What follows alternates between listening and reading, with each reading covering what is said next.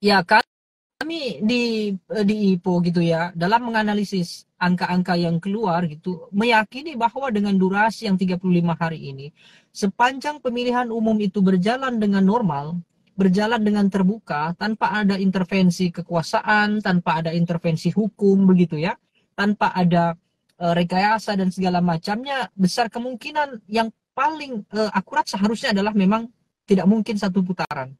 Karena angka untuk bisa mencapai satu putaran itu masih sangat tinggi sekali. Bahkan termasuk Prabowo sekalipun yang tertinggi itu juga tidak tidak signifikan dalam masa kampanye ini peningkatannya. Artinya mereka masih masih cukup uh, memerlukan suara yang cukup besar. Nah, dalam hitungan uh, kami ya sekitar 4 sampai 7 juta pemilih.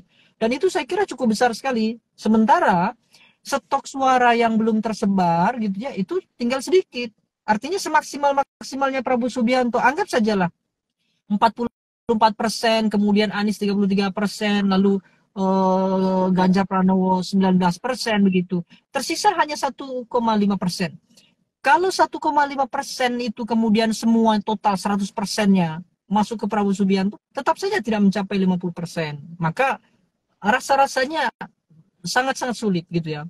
Mungkin bisa, tapi memerlukan kerja-kerja yang yang mungkin tidak bisa dijangkau oleh oleh masyarakat uh, umum kira-kira uh, begitu.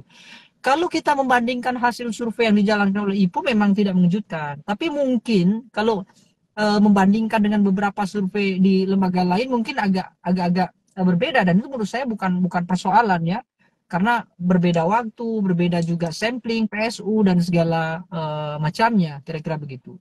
Yang pasti yang bisa kita simpulkan adalah baik dari sisi elektabilitas maupun dari sisi akseptabilitas publik itu semuanya masih dinamis. Artinya bisa saja dalam 35 hari ini kalau di kubu Prabowo Subianto optimis bisa meningkat, maka optimis yang sama juga bisa ada di Anies Baswedan, bisa juga ada di Ganjar Pranowo. Jadi tidak memang akan sulit lah mau bagaimanapun caranya untuk satu putaran saya kira dari sisi uh, real di bawah itu akan sangat rumit sekali.